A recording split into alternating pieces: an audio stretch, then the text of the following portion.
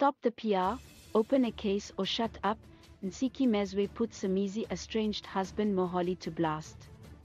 Mohale Motaung and Somizi Mhlongo have been making all sorts of headlines of late after their public fallout that has since been dubbed as a Mohale heist.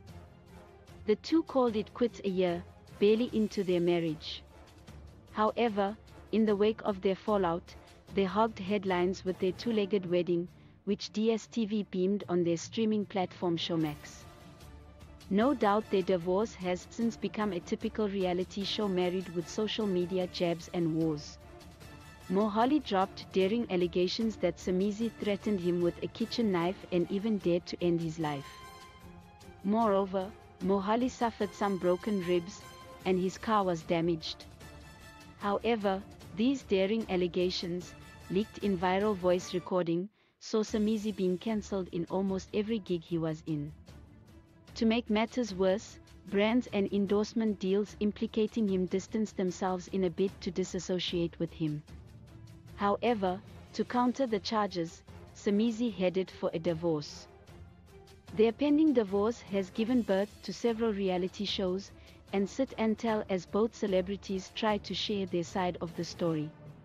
In the mix of things, controversial poet and celebrity Ntsiki Mazwai took a swipe at Mohale after his Showmax Sit and Tell show Mohale on record.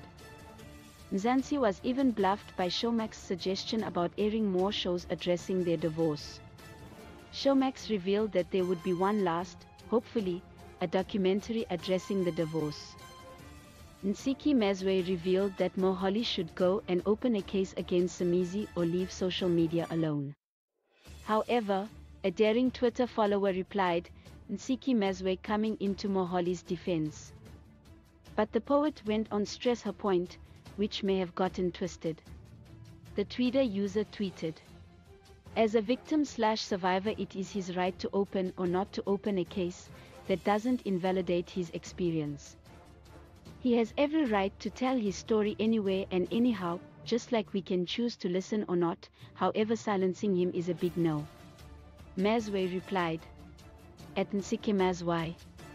It serves no one when we just use it as PR. It serves no one. Nothing changes. Please like, comment, share and follow this channel for more information or updates on news and entertainment.